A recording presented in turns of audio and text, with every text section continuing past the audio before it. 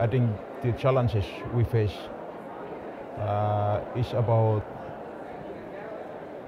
people with uh, no understanding of internet, uh, where we can say they can maybe misuse in the internet.